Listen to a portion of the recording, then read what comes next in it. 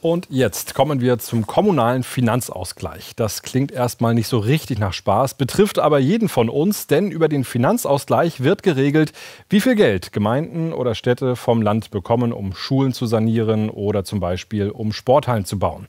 Fast 100 kleinere Gemeinden, also im Schnitt jede zehnte, haben gemeinsam beim Landesverfassungsgericht Beschwerde eingelegt. Ihrer Ansicht nach bekommen sie zu wenig Geld. Heute gab es am Landesverfassungsgericht eine mündliche Verhandlung. Auf die gucken wir gleich. Erst einmal der Blick in eine Gemeinde, die knapp bei Kasse ist. Barkelsby im Kreis Rendsburg-Eckernförde. Knapp 1600 Menschen leben hier und das ziemlich autark, wie sie sagen. Es gibt zum Beispiel einen eigenen Kindergarten mit 70 Kindern. Allerdings musste man ein bisschen improvisieren, damit auch alle Kinder Platz haben. Die Gemeinde stand vor der Frage, den Kindergarten anzubauen oder eine Naturgruppe zu gründen. Der Unterschied, diese Maßnahme hat 42.000 gekostet. Hätten wir den Kindergarten angebaut, hätten wir 750.000 dafür bezahlen müssen. Nicht die einzige Stelle, an der die Barkelsbüher improvisieren mussten. Auch hier an der Grundschule ist der Platz für die 173 Kinder aus dem Ort und dem Umland zu knapp geworden. Doch der geplante Anbau bleibt vorerst ein Traum aus Kostengründen. Der Schulleiter muss einige Kinder im Container unterbringen. Und auch der Gemeindetreff ist mittlerweile zur Schulklasse geworden. Die Gemeinde hatte geplant mit 700.000 und wir sind jetzt gewesen bei 1,2 Millionen und da haben wir die Reißleine gezogen. Das konnte Barkelsby sich nicht leisten. Und genau deshalb zieht Barkelsby vor Gericht, gemeinsam mit fast 100 anderen kleinen Gemeinden. Sie alle werfen dem Land vor, dass sie zu wenig Geld aus dem Finanzausgleich bekommen. Und die Großen bekämen zu viel. Er koordiniert die Verfassungsbeschwerde.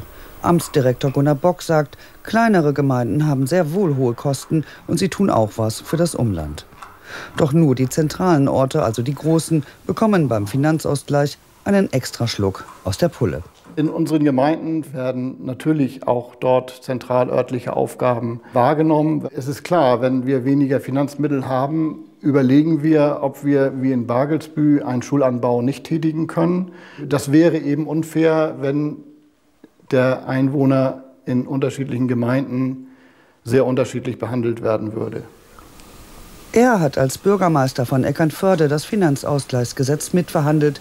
Jetzt ist Jörg Sibbel als Staatssekretär im Innenministerium für genau dieses Gesetz zuständig und verteidigt die Besserstellung der großen Orte.